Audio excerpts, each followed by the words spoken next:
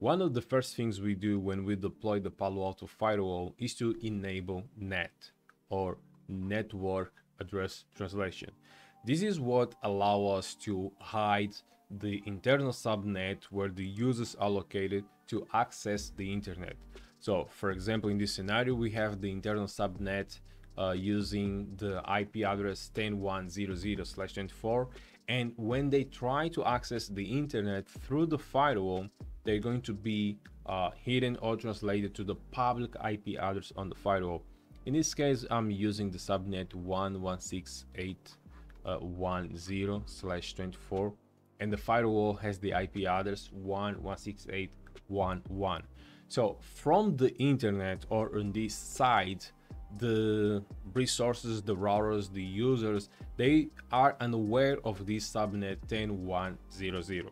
This type of translation is also referred to as PAT or port address translation because all of the IP address on this subnet, I believe 254, or even if we had a different subnet, they all would use the same IP address on this firewall. And we can test this real quick. So let me bring the this PC. So let's go to Linux 5 and I have configured like a basic policy just allowing uh, all the subnet 10.1.1.0.0 to access the internet so I'm going to log into this PC and I should be able to ping the ISP router that has the IP address 116.8.1.7 and I also enable telnet on the router so we log in and run the command show users we can see that this client PC, this Linux 5,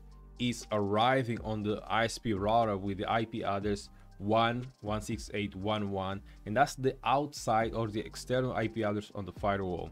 Now let's do the same test from this Linux 6. Okay, I'm going to log in. Okay, and let me close this and yep, I can close this. And log into the router as well. If i run command show users. We can see that both pcs they are arriving or connecting to the router but they arriving with the same ip address 1.168.1.1 now there are scenarios where we might be required to allow access from the internet to our internal subnet an example would be if we had to allow access uh, to this server. So let's suppose this is our web server. Okay, and we want this web server to be reachable uh, from any device on these other subnets. So 116.8.2.0 or 168.3.0. So more specifically, we want this Linux 13 to be able to reach this web server. Now, the way to do that is by using a different type of NAT, and that's going to be static NAT okay or 101 translation so we want to make sure that the ip address that this web server has in this case that's going to be the 10.1.1.14 to be not reachable on the internet but to be mapped to an ip address on the public subnet.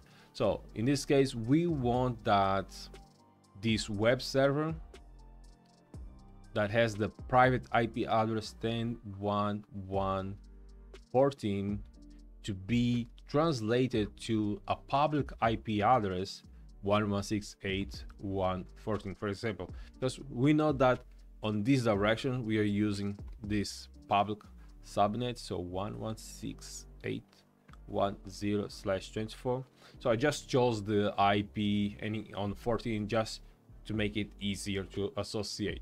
So we want that clients let's suppose linux 13 he whenever he calls these 1.168.1.14 the firewall redirects this or translate to the internal ip address of the web server then 10.1.1.14. And this is what we're going to see in this video, how to configure static NAT translation on a Palo Alto firewall. As a reference, I'll be using this document from Palo Alto and I'll share the link to this document in the video description.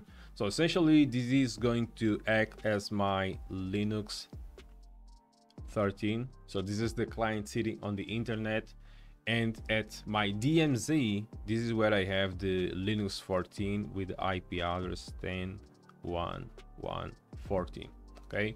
And we want this client Linux PC or Linux 13 to access the web server on the subnet 1.168.1.0 slash 24 more precisely on the IP address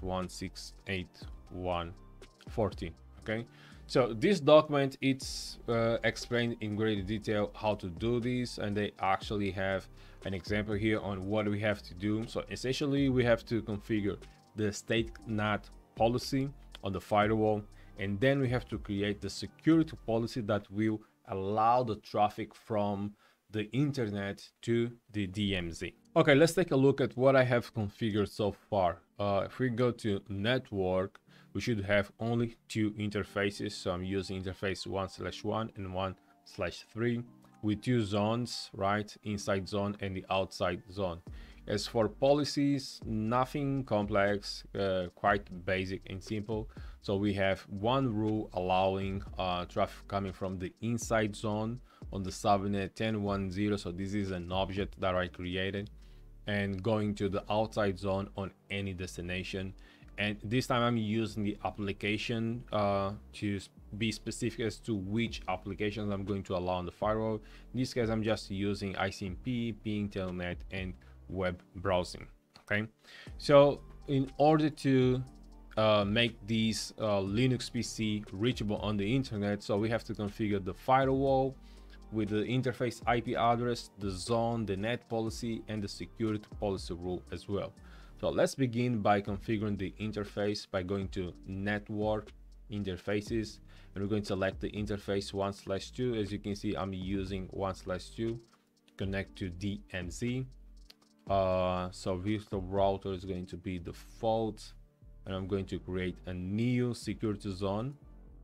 So we're going to name this as DMZ zone and I'm going to save this okay now let's go to IPv4 add so the IP address is going to be 10.1.1.1 slash 24 okay and i'm just going to enable associate uh, interface management profile so that in case i have to troubleshoot reachability between the server and the firewall just to allow ping on the interface. And i'm going to save this uh, potentially yeah no problem okay the interface is done so now let's go to policies and here on the policy let's go to NAT and first we have to create the NAT policy.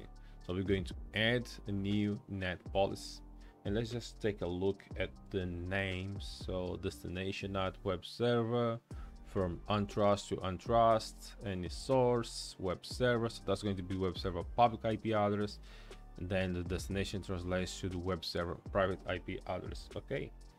So probably that's what I remember destination. I'm just going to translate uh, access to web server can't remember all of that so the original ip packet so this is going to come from the outside zone and the destination has to be also the outside zone. Now the source address is going to be any now the destination address it has to be the public ip address of the server. So we're going to create a new object here. And let's name this as web server public IP and the public IP is going to be 116.8.1.14 and that's going to be just a host IP address I'm going to save this okay so now on translated packets the destination address translation we want it to be translated to the private IP address of the web server. So we're going to select static IP address and translated address. We're going to create a new object. We're going to call this as web server um, private IP. Normally I don't use underscores, but anyway. So the public IP is going to be uh, 10.1.1.14 it's just going to be a host as well. So we're going to save this okay? So web server private ip original packet that's going to be web server public ip okay we're going to save this. Next we should go to security and we're going to add a new security rule.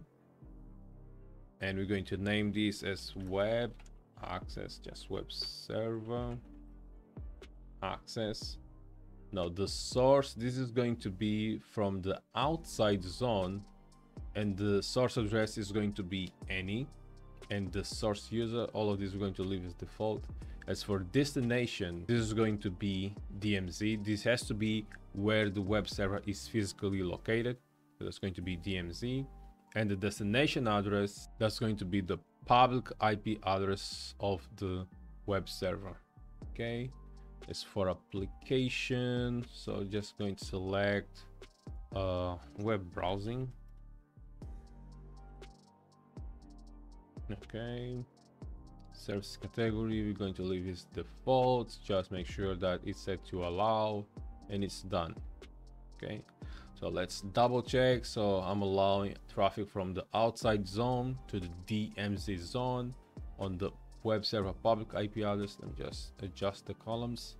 The web server public ip address application web browsing and i'm allowing service application default. Okay that should be enough. So let's commit those changes and then we're going to test it. Okay the changes were committed successfully so let's test this. So let's bring linux 13 and let's go to the public ip address.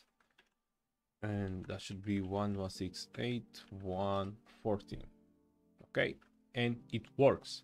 So let's just send some traffic and now let's go back to the firewall so we should see some hit counts there.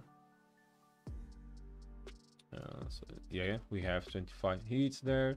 And if we go to the NAT policy we should see also some hit counts there just to make sure that it's working. And if we go to monitor okay let me adjust the column.